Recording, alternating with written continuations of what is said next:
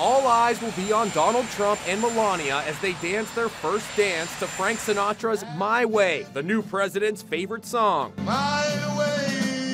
The song will be performed by singer Erin Boheme. Brightest star. It's an absolute honor. I'm going to be performing along with two other uh, Nashville based singers who are extraordinary.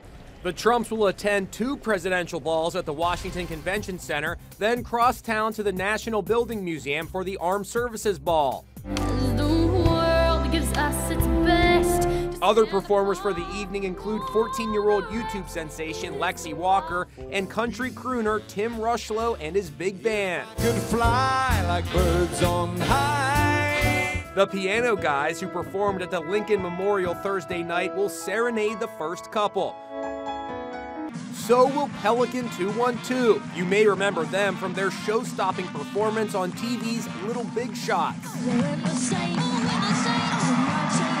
How excited are you to perform on this very special day? It's totally awesome. These performers will have some pretty big shoes to fill. Who can forget Beyonce serenading the outgoing president and first lady back in 2009?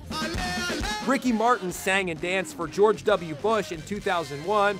Former President Bill Clinton played the saxophone at his 1993 inaugural ball.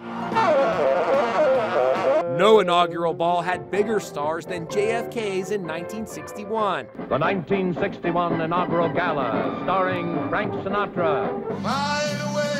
Now, 56 years later, Sinatra's signature song has been handpicked by President Trump himself. And I certainly hope Frank looks down and, and smiles a little bit too, just because he's my hero.